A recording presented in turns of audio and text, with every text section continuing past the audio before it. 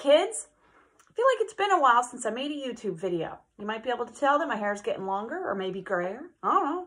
But anyway, it's been a while. So I was like, what should I make next? Because now I've been seeing you for regular lessons online, so I haven't been making the videos. So what I decided that y'all should know together is scales. Okay, so what I'm going to do now for this lesson is I'm going to show you these three scales and I'm going to show you for violin, viola, and cello. Bass, you guys are your own special instrument. So I'm not going to put that on this video because it's it's a little bit different, okay? But if you're a bass player and you want to know and you don't know, message me and I will make it happen, okay? All right, so you've got three scales that you can or should know, all right? I'm going to hold up the answers like I did for happy birthday, and you can freeze the video and copy this down because these are the scales, okay?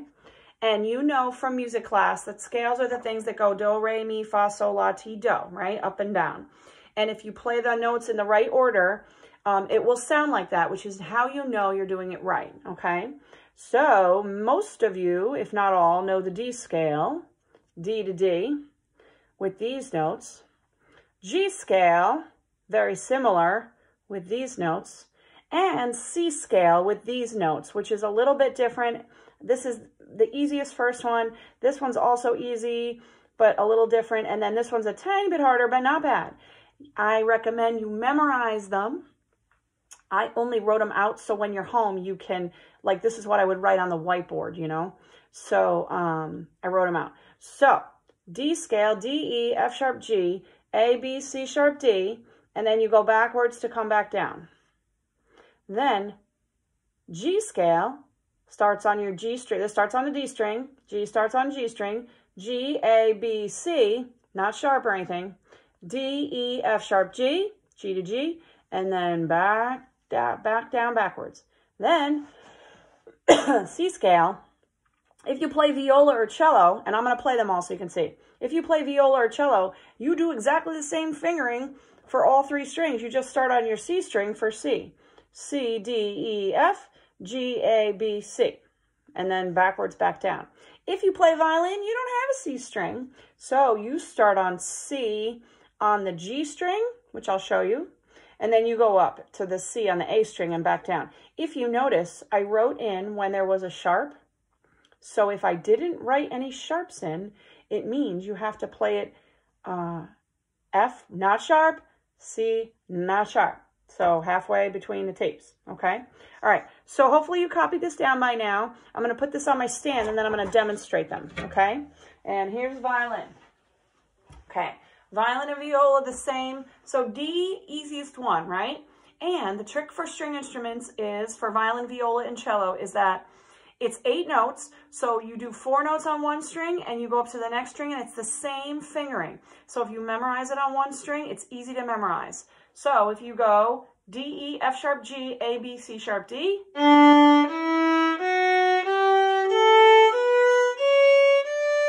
Same fingering both directions.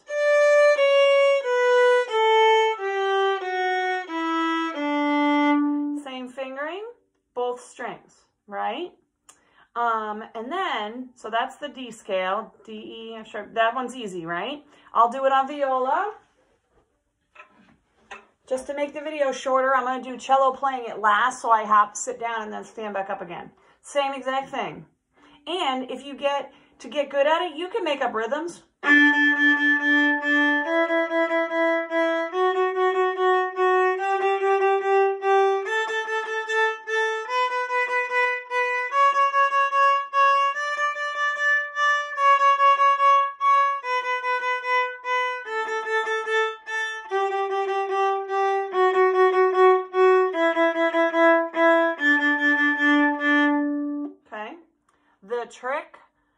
When you move on to the G scale is you do the exact same fingering that you just did on the D and the A string to play the D scale.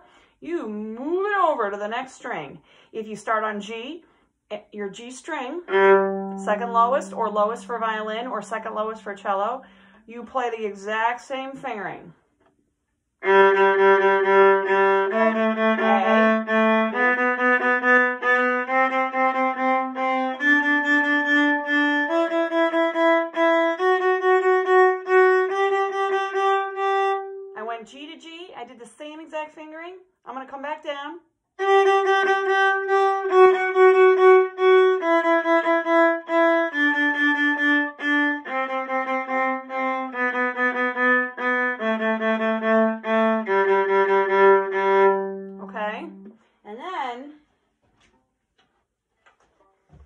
Violin, it's the same thing. You're just doing the moving it all over one string. Your G string just happens to be your lowest string.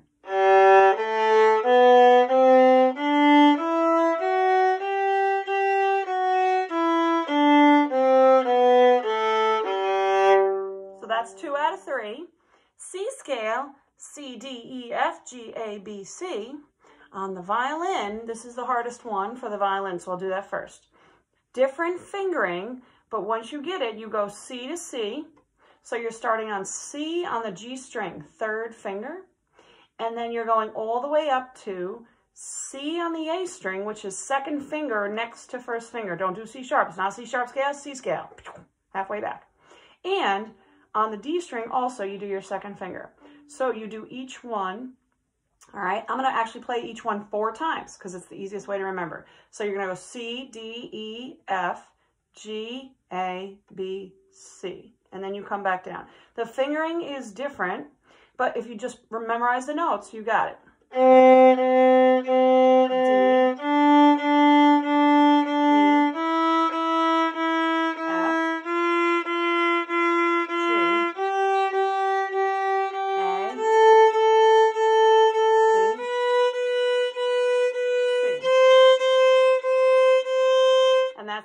Don't keep going because it's C scale. Stop on C.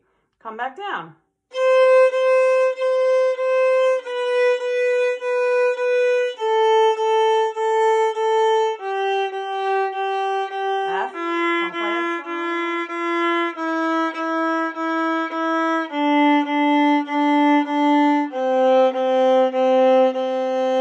Okay, so that one's got a different fingering, but if you play the notes you see, that you just wrote down, that you copied down. Don't play any sharps. It should sound like do, re, mi, fa, sol, la, ti, do.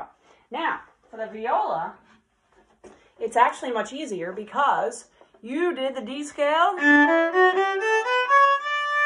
Then you moved it over a string and you did the G scale. And to do it as a C scale, you just move it over to your, you have an extra string, your C string. So you do exactly the same thing.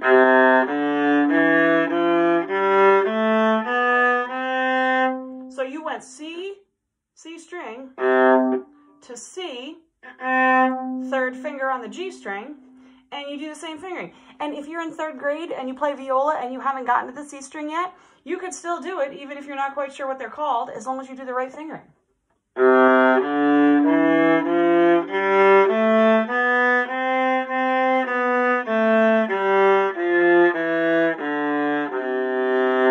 So very easy for viola because it's all the same fingering. You just start on the correct string, okay? And then if you play the cello, it's the same as the viola. You're just doing it with cello fingerings. I'm to lower it all down here. Here we go. Okay, so for the cello, here we go. D scale, you know, same fingering. Start on D, go to A. You play D, E, F sharp, G, right, with your third finger.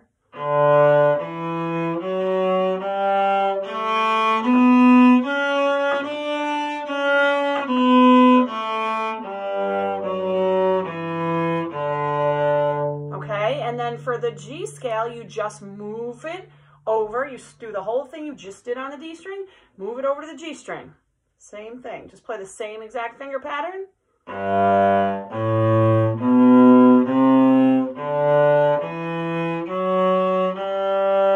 G to G. You just went up to the G on the D string. Then you come back down.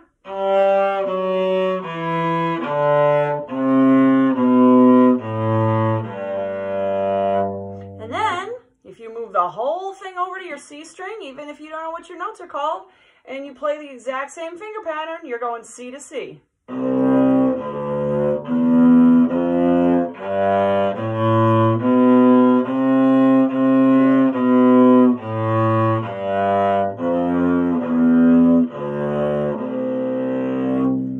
And you skip, remember for the cello, for those, you're skipping your second finger. If you notice, you use no fingers one, and then you go to third finger and then fourth finger. Don't do your three, or don't do your two. Okay, so that's a quick tutorial on three fun scales, and they're super fun if you get good at them.